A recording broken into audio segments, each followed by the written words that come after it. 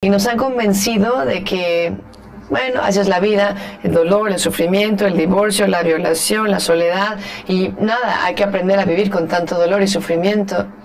Y de repente el Señor dice, no, ¿qué anhelo he puesto en tu corazón?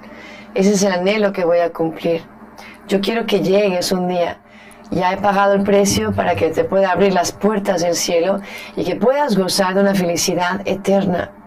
Es que de verdad, si supiéramos lo que es el cielo, si supiéramos el gozo, la paz, la armonía, el abrazo eterno de Dios que nos espera, donde no tendremos más lágrimas, donde ya no tendremos heridas, donde no sufriremos, si realmente comprendiéramos eso, nunca, nunca tendremos el lujo de pecar o de alejarnos de Dios, o de quedarnos allí estancados o atascados o, perdonen la expresión, como dicen por ahí algunos, simplemente lamiéndonos las heridas.